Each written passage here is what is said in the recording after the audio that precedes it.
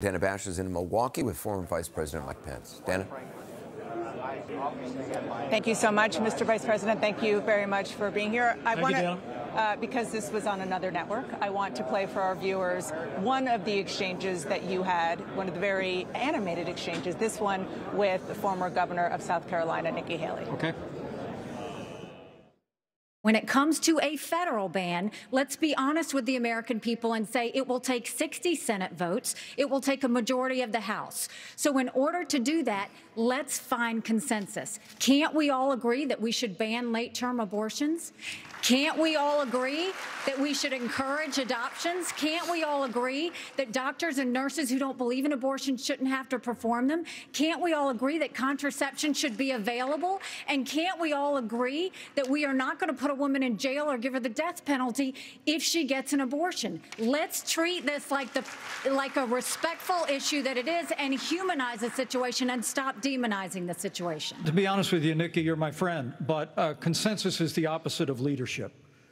When the Supreme Court returned this question to the American people, they didn't just send it to the states only. It's not a states only issue, it's a moral issue. And I promise you, as President of the United States, the American people will have a champion for life in the Oval Office. Can't we have a minimum standard in every state in the nation that says when a baby is capable of feeling pain, an abortion cannot be allowed.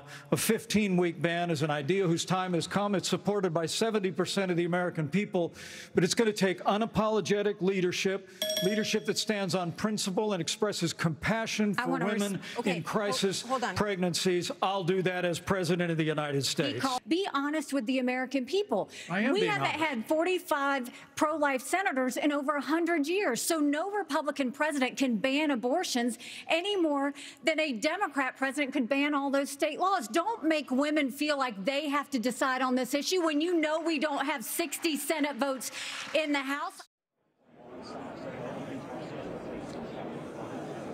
Mr. Vice President, that was a, uh, a, fascinating exchange for a couple of reasons. One is uh, one of the questions was came after Governor DeSantis was asked about abortion, and he talked about the fact that you cannot uh, basically tell places like New York and California how to deal with abortion in the same way you can do red states like Indiana, for example. But you got you got into it there with Nikki Haley.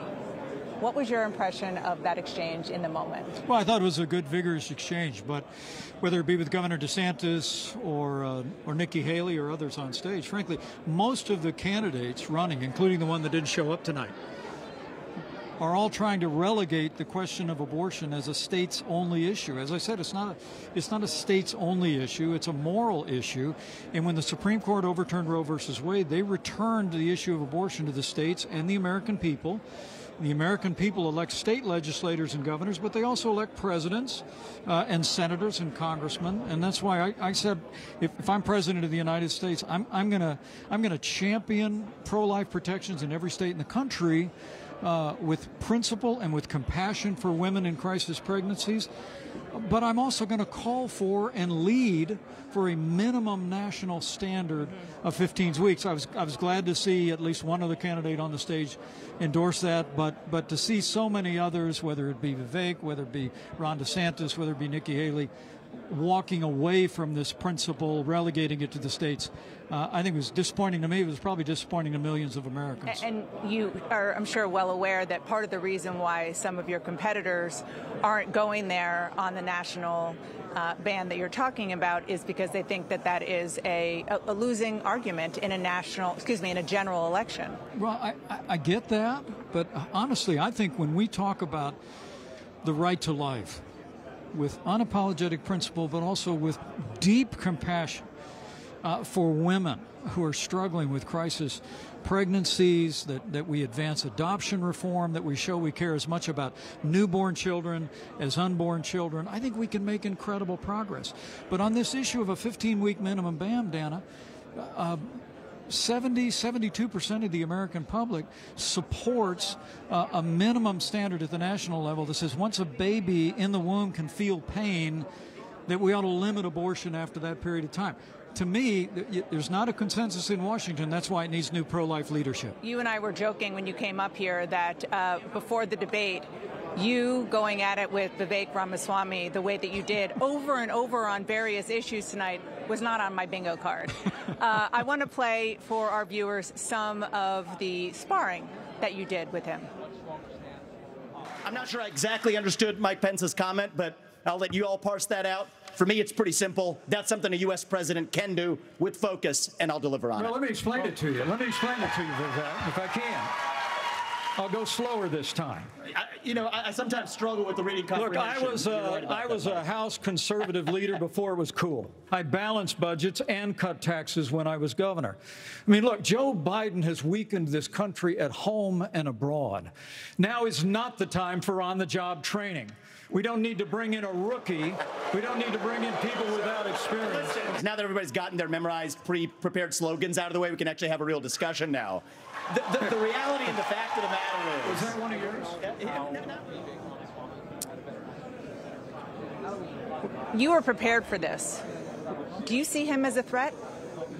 No, I was prepared to make the case for the conservative agenda.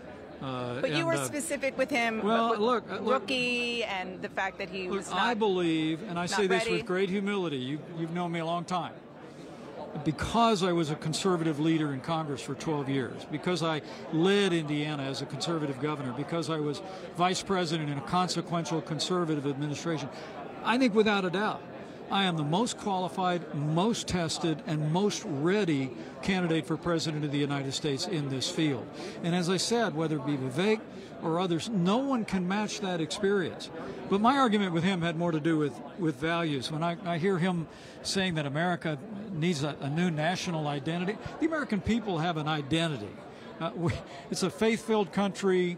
We love freedom, unfailingly generous. I mean, the American people are the best people on earth. We, as I said, we just got to have government as good as our people. That and on foreign policy, uh, I, I just had to call him out as somebody that believes America's the leader of the free world. Your former boss obviously was not here. Uh, you were very clearly trying to make the point about January 6th, about what you did. You, you wanted to make sure that your competitors had an answer for whether or not they believe Right. that you did the right thing. Um, are you hoping that the former president was watching tonight and heard what you said? Well, I, I'm hoping the American people are watching. But what about him? Because for the last two and a half years, the president and many of his allies have been out saying something just isn't so. I mean, uh, under the Constitution of the United States, states certify elections. There were irregularities, Dana, but once those were reviewed in the courts, once once states certified the elections, objections could be heard in the Congress. But my duty under the Constitution was to preside over a joint session of Congress where votes would be opened and counted, no more, no less. And I frankly was gratified uh, uh, to see the uh, the moderators of tonight's debate really ask every single one of those candidates whether or not we kept our oath to the Constitution of the United States. So my, I, I didn't have an audience of one on this one. My hope is that the American people who have been misled about my responsibilities under the Constitution know that on that day the president asked me to put him over my oath to the Constitution. I chose the Constitution and I always will. Sir, thank you so much. Appreciate you joining us.